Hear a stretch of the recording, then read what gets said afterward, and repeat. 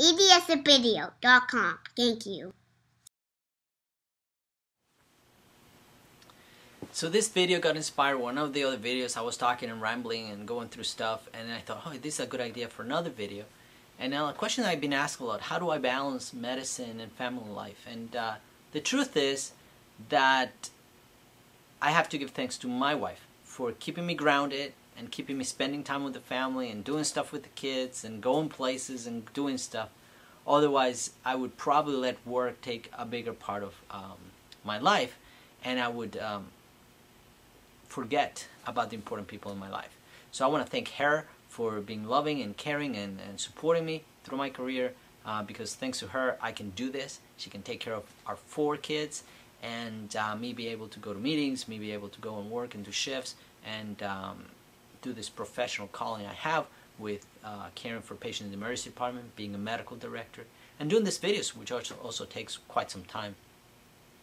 So I do try to balance, you know, and uh, I, I, I, take care of my spiritual life, not as good as I would like, but uh, I try to, and uh, go to church and spend time with the family, and go to dinner, go out, go places, have vacations, and so on.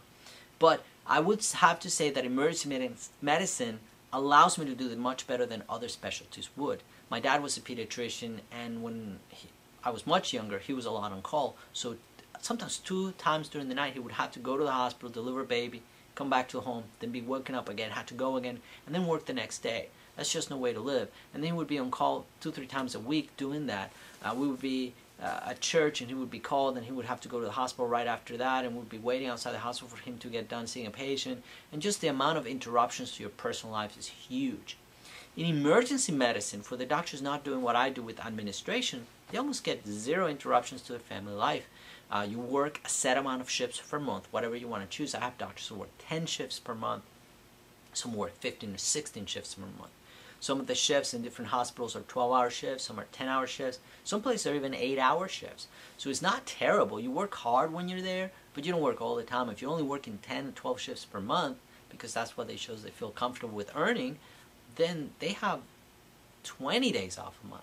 You know, I'm medical director, so I'm only supposed to work 9 to 10 shifts per month, and the rest of the time do administrative work and things like that, which is meetings, going to the hospital, but not actually seeing patients. And but then it really limits the being on call issue because I do get on call. If there was a patient complaining, there was something bad happening in the ER, I get called, I get emails, I have to respond right away. I have to call a patient back. I have to damage control, I have to do education. I have to uh, create lectures and materials. So that takes a lot of that time or interrupted time off, which is a lot harder to do as a medical director. But as an ER physician, it's great actually probably the best specialty for women who want to still practice medicine but also be at home with their kids and teach them um, and, and, and do that kind of thing. I, I work with uh, some uh, female uh, ER physicians who would only work six shifts a month, half of a full-time um, work, but between the two they made one full-time physician. So six shifts a month, they would work three shifts in a row. They'd get a babysitter or grandpa to come and be with the kids. They would work three shifts in a row, and then they wouldn't work for two more weeks. They work three shifts in a row, and then be done for the month. So that worked really well for them. Uh, some of my doctors, they like to work like a set of seven-day stretch, and then they'll be off for seven to eight days, and they go to the beach, they go to the beach house, they go to vacation, their cabin or whatever. So they go on mission trips or whatever. So ER allows you to do that a lot better than other specialties orthopedics, general surgery. You have to be on call every third or fourth day depending on how big your group is. If you're alone in a group, meaning you're your own boss, then you have to be on call almost every day of the week except for weekends where you have to find somebody to cover for you.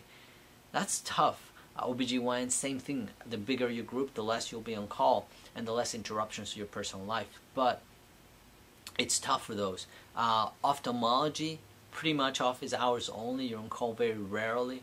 Um, radiology nowadays a lot of shift work so you don't have to be on call except if you are a subspecialist like an interventionalist that do interventions and they have to be on call. Um, dermatologist great family life. I mean it's an 8 to 5 job no weekends no emergencies. So that's a good specialty in terms of family life and stuff like that. But general surgeons and any kind of surgical specialty probably not so good for family life except nowadays they have something called uh, surgical hospitalists. They work shift work. They cover the hospital for 24 hours straight, then they're off for two days, and they work again, and they're off. So they work shift work, so they have a lot of downtime that it's uninterrupted. So that's a very good option. Same thing with internal medicine. If you choose to do only office work, then your practice becomes pretty boring. But if you want to do hospital work, now they have something called hospitalist. You do internal medicine in the hospital, so you work seven days straight, 12 hour shifts, and then you're off for a week.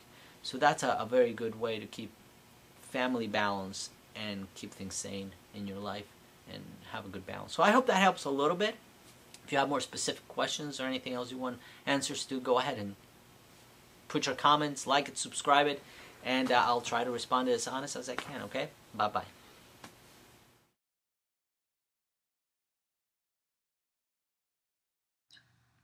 EDSvideo.com. Thank you.